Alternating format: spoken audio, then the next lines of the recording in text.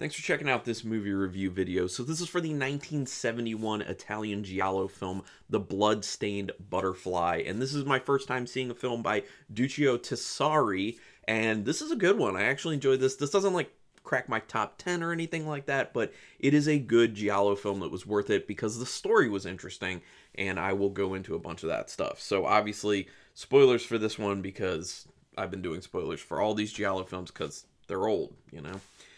So this one was directed, like I said, by Duccio Tessari, who also did such scripts as, or such films as Death Occurred Last Night, Winged Devils, and Puzzle. Those are just a few other horror films that he did. Uh, Tessari was also involved in writing the script for this one, and so was Gianfranco Clerici, who you might know from some other scripts such as Macabre, Don't Torture a Duckling, Five Women for the Killer, Jungle Holocaust, Cannibal Holocaust, the New York Ripper, and Delirium. So quite a resume there. And it's funny because I'm doing this review and there's that tie with uh, Giancarlo as a writer with Cannibal Holocaust. And the last Giallo review I did was for the Pajama Girl case. And there was the tie with Riz Ortolani doing the score for that one, who also did for Cannibal Holocaust. So just kind of funny. Um, also, this was also titled uh, "Secret of the Black Rose." I believe that was when it was released in Germany. That was the title for it, which both are good. So I guess I should show you at this point. I watched it on this Arrow Blu-ray that I got.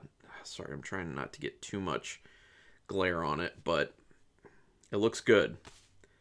Uh, if you can see, let me see if I can get you a good look because it is really good artwork. Like, look at how good that artwork is. Really cool artwork. So I do like the cover of this. Anyway, the opening music is very grandiose. It had a very big score, a big orchestral, kind of classical at times score, which I kind of liked. It helped with a little bit more of the emotional side of things because with the script, obviously, they were going for a lot of emotional stuff, especially with the ending where you find out that uh, um, what's his name, Giorgio, th- that Giorgio had basically had this master plan from the get go to take out Alessandro uh, because of Fran Francois, who he had been seeing in addition to Sarah. So yeah, and that was I'll talk more about that in a little bit. Uh, the so here was the quote that popped up in the very beginning of the film. The past does not exist since it is already gone by, nor does the future exist since it is yet to come. Therefore, only the present exists, but it may be composed of past and future since it is where they meet. So I think this is just kind of supposed to give you an idea that you can't necessarily trust what's happened in someone's past what it looks like things are going to be like in the future. You have to live in the present of the film in order to take the ride along with it and figure out what actually happened. So, yeah, that's just my interpretation of it. There's probably some other interpretations, though. A nice quiet afternoon outside, and then what do you know? A dead body rolls down the hill. I can't tell you how many times that's happened to me actually zero times but i thought that was funny that that's kind of how things get going with this is the woman with her kids in the uh, in the wooded area, and then all of a sudden a dead body, Francois, comes rolling down the hill, and they're like, "Oh no!" So it's just kind of funny.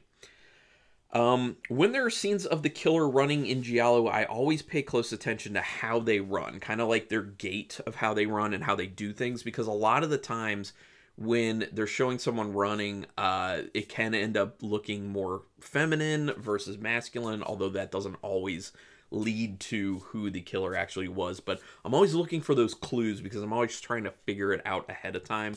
I know a lot of people say that why do you do that? That you know takes a lot of the fun out of it. I don't know. It's more fun for me to try and guess.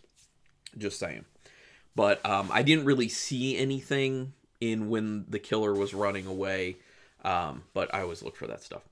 Oh, yes, always a sex maniac is suspected in these instances, and this film is no different. I was expecting it as soon as the police officers, the inspectors were giving out all their theories. I was like, where is it? Where is it? Sex maniac? Ah, there it is. Sex maniac. There's always the sex maniac guess. And that's what they go with. And it, you know, I mean, it was. It basically was in this instance.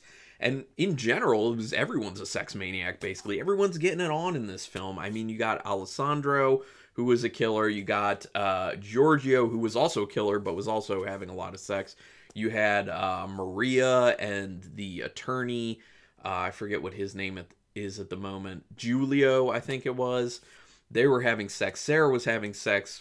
Francois was having sex. Marta was having sex. Like everyone's having sex in this. Everyone. And it's really messy relationship wise, which I think adds to some kind of unintended comedy at certain times. And I'll talk about one in particular a little bit later that I had appreciation for because of how the story went. I do like the evidence processing um, and working through theories of the events. Uh, I do really like that. It felt felt very nicely procedural at that point, and I mean, in general, this this film did feel kind of like inspector slash police procedural. In fact, so much so that I feel like it feels a little bit like a precursor to something like a, a Law and Order show in the United States. You know, granted, this was you know decades before, but it kind of feels like the precursor to a show like that because if you think about it it's you know they do kind of their procedural thing of them going over you know the crime scene and then talking about their theories and then doing the investigations but they have so much focusing on the actual court events too which a lot of giallo films don't spend a lot of time in the courts um, usually because they're trying to figure like they, there's there's usually not any sort of trial going on. And in this it, it, it is weird because it ended up being that the person who was first suspected and put on trial actually ended up being the initial killer, but you just have that twist thrown in there of more killings happening and why. So there you go. So I did like that it was kind of like a fresh script. You see another victim coming when the student almost gets hit by the white convertible, especially since you just see the top half of the driver's face. Now, that was actually a bit of a red herring. Obviously, we did get more people getting killed, but at that moment when like Sarah almost gets hit by the white convertible and they only showed like from here like from here up on the person, I was like, "Oh, I think she's going to get killed." She didn't end up getting killed. Other people did though.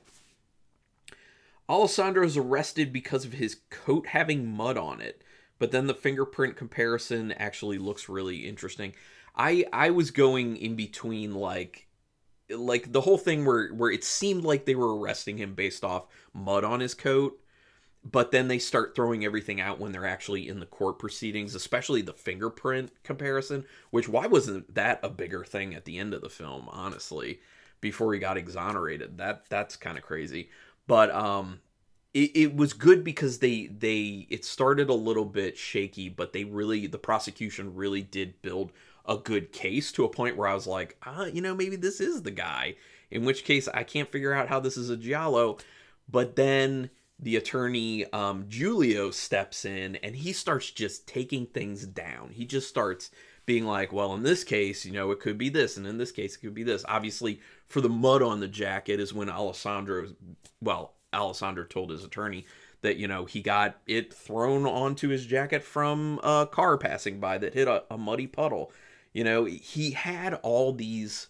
He was a good attorney. He had all the ways to take down these bits of evidence and whatever the prosecution was prosecution was showing, which is obviously why in the end he got off. Actually, a portion of why he got off. The main reason he got off is because um, Giorgio was out there killing other women and making it look the same as when Alessandro did it.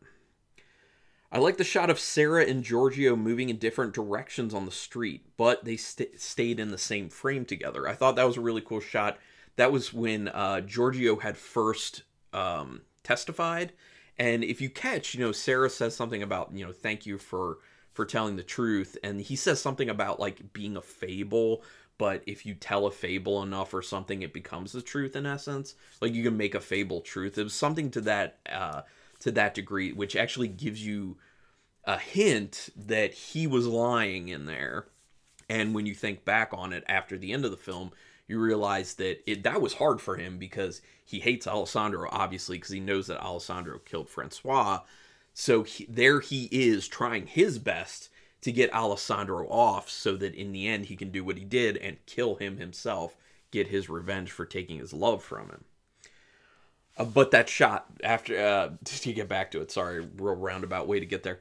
That shot where they they come out of the court and Sarah is like walking towards the camera and um Giorgio's walking kind of away and to the side, but they stay in the frame together. Really, really good looking. And in general, you know, the directing is very good with this. The camera movements in particular, lots and lots of interesting movements, lots of kind of movements moving around the characters and kind of opening scenes up a lot more, which I always say I like because it makes me as an audience member feel more engaged uh, in the scene because I feel like I get more of a perspective of what the scene is, like what's going on. It makes you feel more a part of it. Um, Giorgio seems real suspect when he's acting odd and turning music up while ignoring Sarah. Now, note at that part where he is seeming very suspect, he hasn't killed anyone yet. He is innocent at that point where he's flipping out and Sarah's trying to talk to him, and I guess it's in his place, and he's just like having the music, and he's kind of like there, like this, like, you know, because he's obviously going through some stuff because he misses Francois, but he can't really talk to Sarah about that because she he was seeing both of them at the same time, in essence. So they keep throwing mini twists, like Alessandro's affair with Marta and Mar- and Maria hiding Alessandro's shirt that had blood on it, and then you throw into it Giulio sleeping with Maria. And this is what I was talking about about like the intricacy of these relationships. You know, you had Alessandro and Maria who are married. Now Alessandro is cheating on Maria with Marta, and Maria is cheating on Alessandro with his attorney Giulio, and then you had uh, Giorgio, who was with Sarah, but also cheating on Sarah with Francois. It's just like so much deception. And then the deception of the script and the story with the audience goes hand in hand. I get that having extreme close ups is one way to get around the nudity portion of sex scenes, but it's actually extremely annoying, especially when they draw it out, and they really did that in this in this film. Um, you don't need to have a super long sex scene, especially when you're just showing very, very close up, so you're not really showing nudity or anything. There's no point, you know, like it, it's just annoying. Like, move the camera back. I feel claustrophobic because you're way too close to these people. So that's one of the directorial things I did not really like, but there wasn't that much. I like the jump from Giulio meeting the prostitute to her being dead while the police process the crime scene you know, obviously that's supposed to be a very strong indicator that, you know, Giulio may have been the person to kill this prostitute, which is the first death after Francois's initial death. Um, because he's getting he's going to get some cigarettes and she's there at the same cigarette machine and then it's just like immediately jump to she's dead and this pack of cigarettes are still sitting there so that's supposed to make the audience grab that red herring and be like oh giulio could be the killer which would also be an interesting twist. But I like what they did with it. I laughed when Giorgio put out his birthday candles with a glass of water. You could see him emotionally going through some stuff. You could also see that he didn't have a very good relationship with his family, um, so much so that you know they couldn't really pick up that there was something going on with him, and he was mad about it at the table. He gets his birthday cake and he just takes his glass of water, dumps it. I like that. Yuck, what a gross scene with Giulio throwing himself all over Sarah. That was disgusting. So, Ju- when you do that, that is yet another one of those red herrings to be like, oh, Giulio is a sex maniac, potentially the person who killed Francois, um, because he here he is, he's in a relationship with Maria.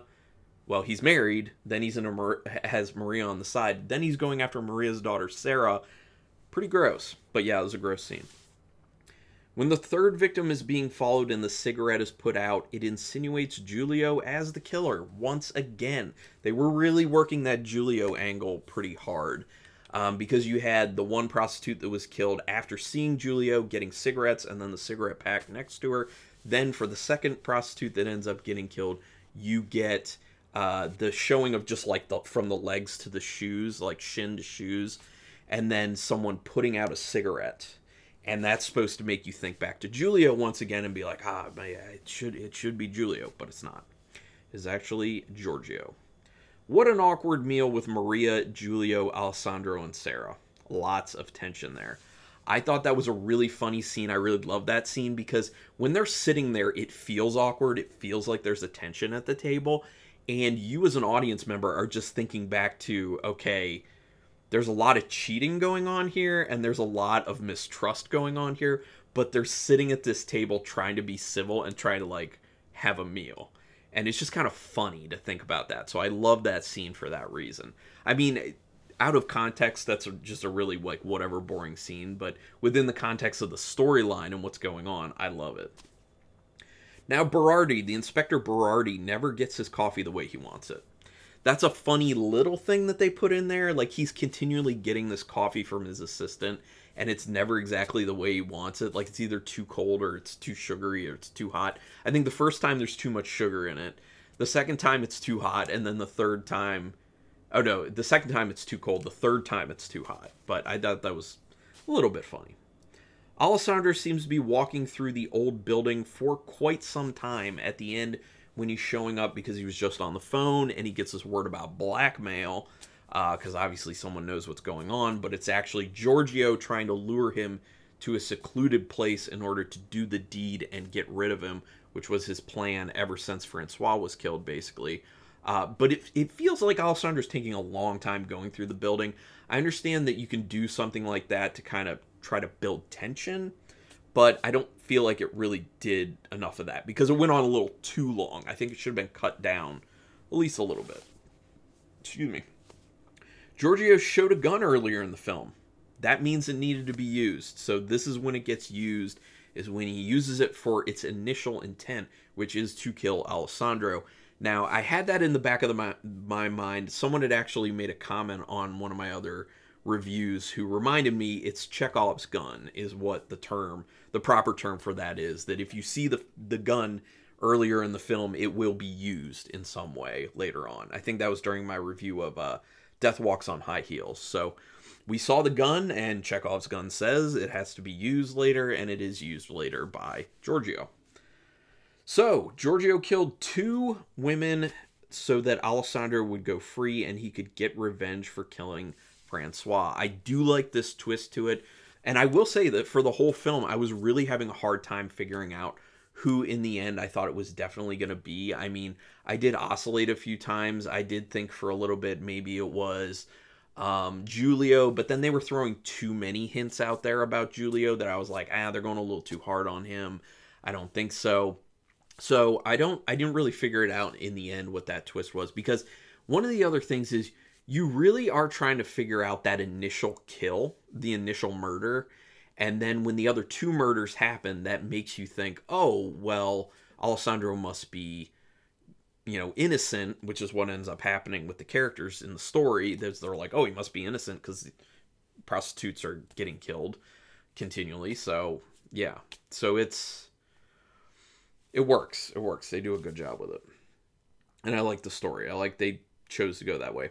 The combination of the music and the cutting in of scenes of Giorgio and Francois being extremely happy actually helps to make some really good kind of emotional impact at the very end after Giorgio has shot Alessandro and then Giorgio has been stabbed.